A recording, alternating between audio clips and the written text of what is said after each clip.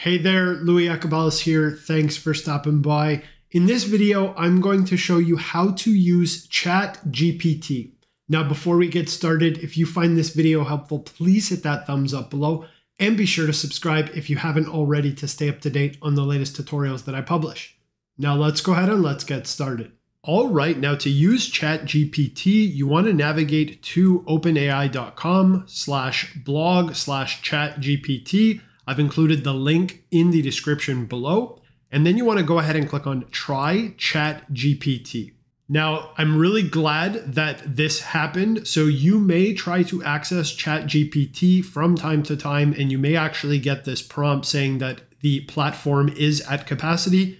Now, if you do receive this prompt, you can click on this hyperlink that says get notified when we're back and you can put in your email address and click submit and you are going to receive an email when the platform is available for you to use. Now, when you try to access ChatGPT and the platform is not at capacity, this is the screen that you will see. You'll be prompted to either log in or sign up.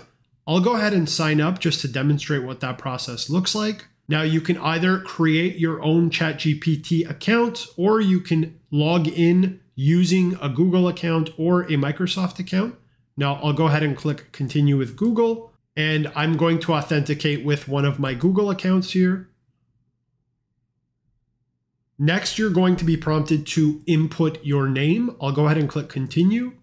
Next, you're going to be asked to provide a phone number. After putting in your phone number, you're going to be sent an SMS code to authenticate your identity. You want to plug that code in and click next. And then you're going to land on the main chat GPT page.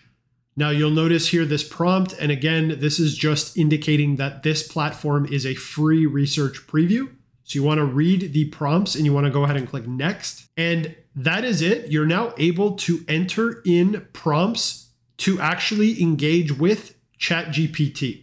Now again, the entire premise for ChatGPT is that it is a artificial intelligence based chatbot and in order to engage with it, you have to sort of prompt it or enter in queries or parameters, and it is going to respond with content that closely aligns with the query or the parameters that you input.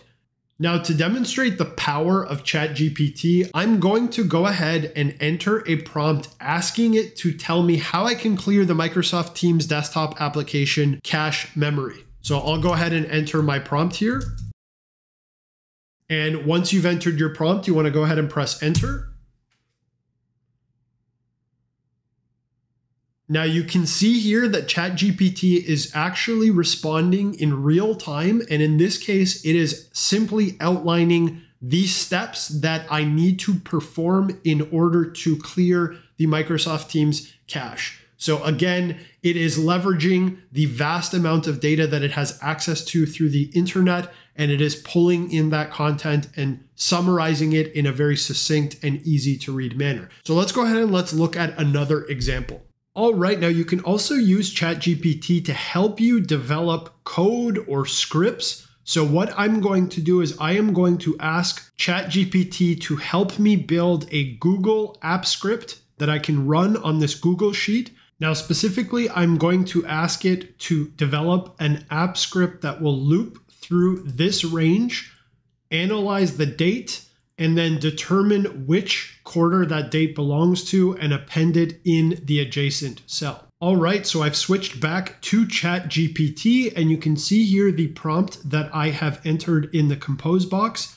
You can see that it reads write a Google App Script function that loops through each cell in the range B2 to B16 and determines which quarter the date falls in.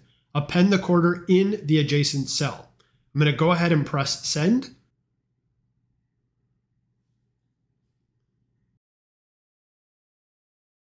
And you can see here that ChatGPT is actually developing this script, this code in real time right in the window. And what's really awesome is that once it has completed the script or the code, it's actually going to provide a bit of an explanation. And you can see here that explanation is being typed on the screen that walks you through the logic behind this particular piece of code or this function.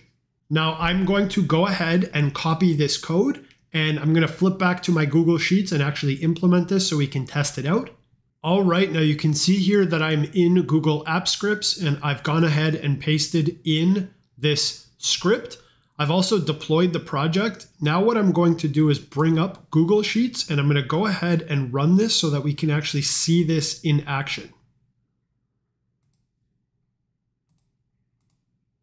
And you can see here that the execution started and completed. And you can see here that the quarter in which that date falls has been appended in the adjacent cell. So that's it. This was just a quick tutorial showing you how you can use ChatGPT. I hope you found this video helpful. If you did, please hit that thumbs up below and be sure to subscribe to stay up to date on the latest tutorials that I publish.